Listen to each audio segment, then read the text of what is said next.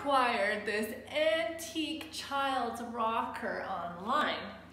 They advertised it as antique, so I can't guarantee it, but it does have an old look to it.